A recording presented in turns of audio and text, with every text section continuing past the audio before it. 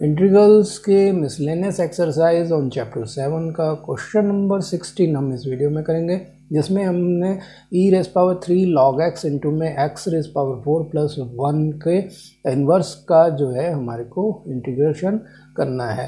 तो यहाँ हम देख रहे हैं कि ई की पावर में जो है थ्री लॉग एक्स है और साथ में प्रोडक्ट के रूप में जो है एक्स की पावर फोर प्लस वन की नेगेटिव पावर दे रखी है, यानी कि ये जो है नीचे चला जाएगा डिनोमिनेटर में और पॉजिटिव हो जाएगा। और साथ ही साथ ये जो लॉग एक्स का जो कोफिशिएंट है वो थ्री है।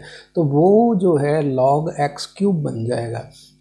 और इधर जो है एक्स की पावर फोर प्लस वन का माइनस जो पावर में है तो आप इसको इसी स्टेप में भी नीचे ले जा सकते थे। अभी हम अगले में ले जाएँगे, यहाँ देखते हैं। तो ई e जो है, वो लॉग एक्स को कैंसिल कर देगा, हमारे पास बचा एक्स क्यूब और यहाँ ये हो गया x raise power four plus one तो इसको हमारे को इंटीग्रेट करना है।